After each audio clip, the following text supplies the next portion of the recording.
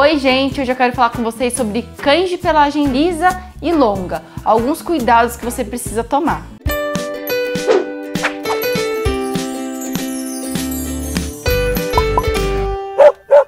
Todo cachorro precisa ter uma rotina de banhos, porque vai muito além dos aspectos físicos, que é uma pelagem bonita, um animal cheiroso. O banho significa também cuidado, saúde e bem-estar para o seu animal. Porém, os animais de pelagem longa e lisa requerem alguns cuidados especiais. Como alguns de vocês já devem saber, eu tive um pet shop e uma das maiores dificuldades que eu encontrava era com relação a animais de pelagem longa e lisa. Porque o que acontece é que normalmente as pessoas não sabem que precisam cuidar dessa pelagem também em casa. Então, escovações diárias, por exemplo, são muito importantes para animais com pelagem desse tipo porque ajudam a remover o pelo morto. Embora os pelos longos não caiam com tanta frequência, a remoção do pelo morto durante a escovação ajuda a dar saúde para esse pelo e para essa pele. Então a escovação diária é importante, a escovação feita pelo dono, porque também ajuda a remover é, alguns nozinhos e impede que esse pelo se embole e forme alguns nós que a gente às vezes não consegue remover no centro de estética.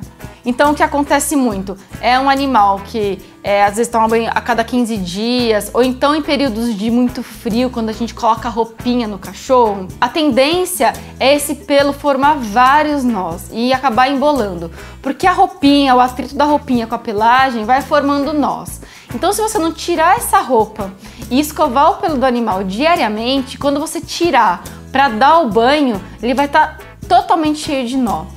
E embora no centro de estética já existam muitos produtos que ajudam e facilitam na remoção de nós e proporcionam é, brilho e maciez na pelagem, se esse pelo estiver muito rente à pele, às vezes pode até machucar o seu animal. Então não é recomendado que chegue nesse ponto. Então é importante que você escove em casa e evite usar roupinhas. Caso seja necessário, aumentar o número das escovações.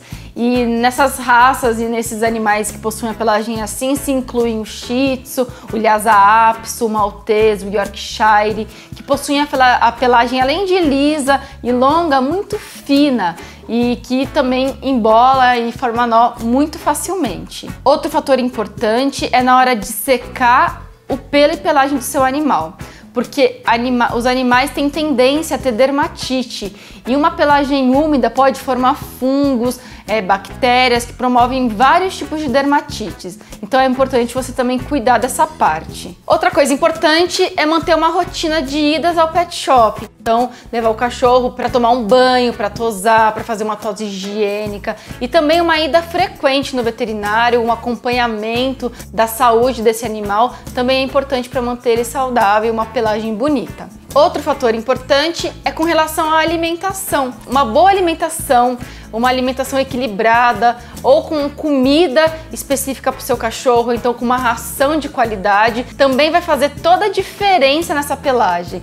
Então, a junção de todas essas ações vai fazer com que seu cachorro tenha uma pelagem bonita, bem cuidada e ele seja feliz e saudável. Bom, se você tem uma dessas raças de pelo longo ou então alguma outra raça e você queira saber mais sobre ela, entre no meu site jualmeidapet.com.br que lá você vai encontrar mais informações. Então um beijo e até o próximo vídeo.